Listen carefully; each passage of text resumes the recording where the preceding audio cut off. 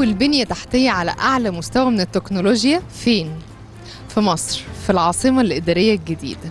يعني إيه الكلام ده؟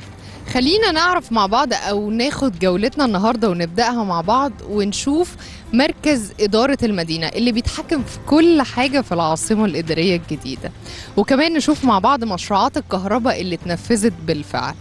تعالوا نروح نشوف جولتنا ونتعرف على كل ده مع بعض النهاردة. خليكم معانا.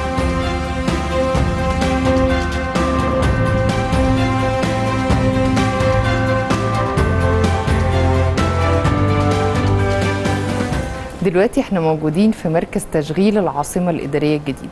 طبعا كلنا سمعنا عن مركز إدارة العاصمة الإدارية الجديدة مركز التحكم والسيطرة والبيانات.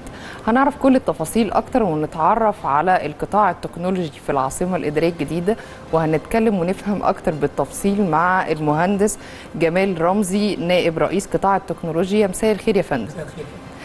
طبعا إحنا سعداء إن إحنا متواجدين معاكم النهارده بنشوف كل التفاصيل الجديدة والتكنولوجيا وال, وال يعني المدينة الذكية في العاصمة الإدارية الجديدة. وحابة حضرتك تشرح لي يعني إيه قطاع تكنولوجي موجود النهارده في العاصمة الإدارية الجديدة؟ إحنا عشان نتكلم ونقول مدينة ذكية فلازم يكون لها شوية من المقومات والمحاور اللي تكون متوفرة فيها عشان الهدف الأساسي فيها إن هي توفر ال- الرفاهية أو الحياة ال- السليمة للمواطن.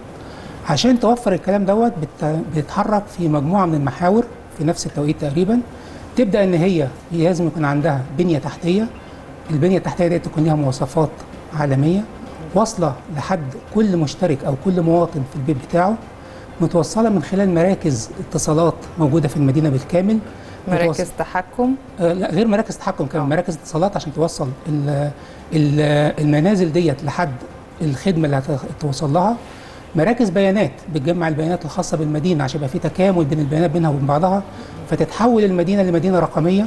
تقدر بعد كده توفر حياة بمجموعة من الخدمات الذكية للمواطن زي إن هو يوفر له نقل ذكي يوفر له خدمة ال smart lighting اللي هو الإضاءة الذكية خدمة ال smart parking يبقى في الآخر أنا بديله مجموعة من الخدمات فالخدمات دي بتحتاج في الآخر مني شوية محاور ومقومات أشتغل فيها في نفس الوقت يعني إحنا النهارده نقدر نقول إن إحنا بنتعامل بالتحول الرقمي في العاصمة الإدارية الجديدة فالنهاردة هي مدينة ذكية. طب حضرتك بقى اشرح لنا إيه أهم أو أبرز الأجزاء في قطاع التكنولوجيا؟ آه، أبرز الأجزاء إحنا عندنا طبعا زي ما قلت لحضرتك كده المرحلة الأولى. طبعا بنبقى أي مشروع من المشروعات ده كمشروع استراتيجي لازم نقسمه على مراحل. أول مرحلة بتبقى مرحلة التصميم والمرحلة دي مهمة جدا لأن هي ديت اللي بتفرق على شكل المدينة الذكية اللي هتتبني. التصميم دوت لازم يكون متواكب مع التكنولوجيا الحديثة لازم يكون قابل للتطور والتطبيق. يعني مش ه- مثلا التصميم بتاعنا بدأ من 2016 ما أقدرش أفضل النهارده في 23 أنا ماشي بتطبيق 2016 لا التصميم بيتطور مع تطور الزمن بياخد من التكنولوجيا الحديثة بياخد ال- الكود اللي يطلع في الآخر ان أنا يبقى عندي شوية نقط حاكمة وأنا بطلع المدينة الذكيه بتاعتي عشان لما أبتدي مراحل التنفيذ يبقى عندي الأساس اللي أنا بنيت عليه التصميم بتاعي. زي إيه يا فندم؟ إن أنا إزاي يبقى عندي آه، بنية تحتية فايبر واصلة من مراكز الاتصالات لحد كل مشترك أو كل مواطن في المدينة. إزاي يبقى عندي مركز بيانات بيخدم المدينة كلها ومترابط البيانات ديت معاها بينها وبين بعضها. إزاي يبقى عندي مركز بيتابع إدارة المدينة. بيشوف الخدمات اللي شغالة الخدمات اللي فيها مشكلة بيتواصل مع المواطن. المواطن لو عنده شكوى المواطن لو عنده آه، اقتراح المواطن لو عنده خدمة عايز يوصل لها أو خدمة عايز يقدم عليها لازم يبقى في مركز بيتعامل معاه في الموضوع ده. إزاي يبقى عندي مركز سيطرة أمني؟ بيتحكم في المدينة امنيا بيتحكم في المرور بيتحكم في ال- اللي يتلقى البلاغات والحوادث. إزاي يبقى عندي وسيلة أتواصل بيها مع الجمهور؟ وأحقق له متطلباته سواء كانت المتطلبات دي طلب خدمة أو طلب شكوى في وقت قليل ومن دون بقى إن هو يروح بقى زي ما كنا متعودين قبل كده أنا بروح الجهة الحكومية عشان أقدم طلب وبعد كده أروح أسأل عليه لا خلاص إحنا بنتحول بقى للشكل الرقمي للشكل المدينة اللي إحنا عايزين نقول فيها مدينة الحياة الرفاهية. يعني إحنا شايفين عاملين كتير قوي شغالين النهارده في القطاع التكنولوجي ودي حاجة جديدة أول مرة تكون عندنا في مصر.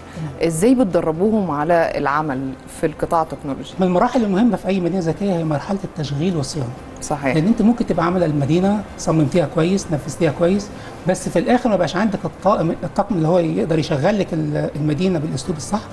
أو الطاقم اللي يصون أو يعمل الصيانة السليمة للمدينة فساعتها مش هتقدري تحافظي على كفاءة الخدمة اللي أنت بتقدميها. إحنا عشان يعني نتخطى حتة التشغيل ديت إحنا تعاقدنا مع شركات عالميه الشركات دي بقت هي اللي مسؤوله عن التشغيل وهي كمان دربت مجموعه من ال- الموظفين تبعها وتبع العاصمه الاداريه يبقى هم اللي مسؤولين عن تشغيل الخدمات صيانه المباني صيانه الخدمات مراقبه الخدمات نفسها فاعتمدنا على شركات عالميه متخصصه هي اللي بتبقى ماسكة حتة التشغيل والصيانة أنا حابة أشكر حضرتك جدا وعلى. استضافتكم كمان لينا النهارده هنا في. المركز بشكرك شكرا شكرا